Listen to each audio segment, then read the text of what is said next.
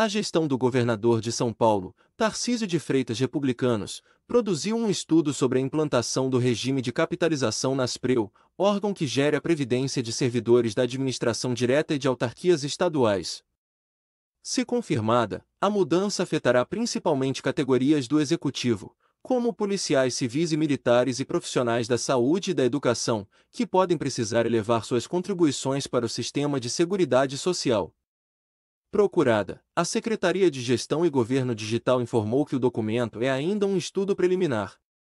De acordo com a pasta, sua eventual implantação exigiria outros estudos aprofundados, detalhando tanto o custo de alteração para capitalização ao longo das primeiras décadas como também questões relativas ao novo funcionamento da gestão dos benefícios previdenciários. Para colocá-la em prática, seria necessário ainda aprovar um projeto de lei na Assembleia Legislativa do Estado Alesp, o que não se vislumbra no Palácio dos Bandeirantes neste momento.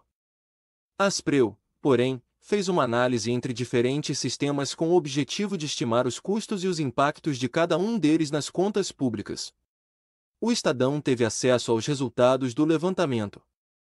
Atualmente, Aspreu segue o modelo de repartição, em que as contribuições pagas mensalmente são utilizadas para custear despesas imediatas com aposentadorias e pensões dos inativos.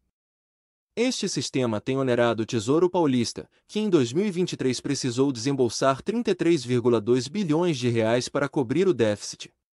De acordo com o estudo, a tendência é de que, mantidas as atuais regras, o tamanho da despesa corrente com a contenção do rombo cresça 73% até 2048, quando atingiria 54,8 bilhões de reais ao ano.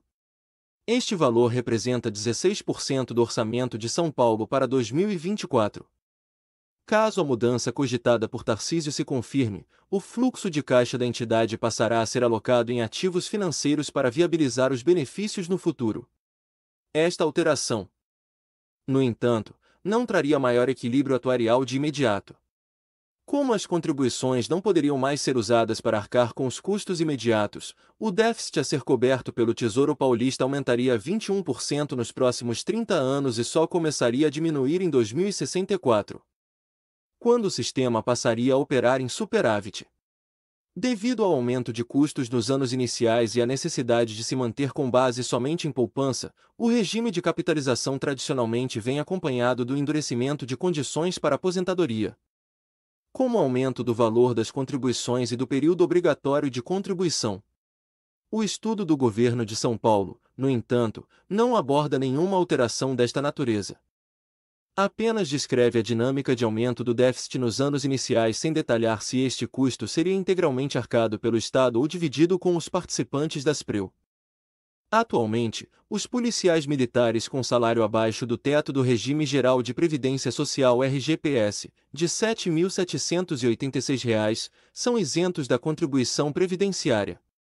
Esse benefício dificilmente seria conservado caso a mudança de regime aconteça. Prevê o advogado Fernando Capano, que defende a Associação de Subtenentes e Sargentos da Polícia Militar de São Paulo ASPO. Uma mudança seria, no caso dos militares, tornar um regime de contribuição universal. É algo que nos preocupa bastante.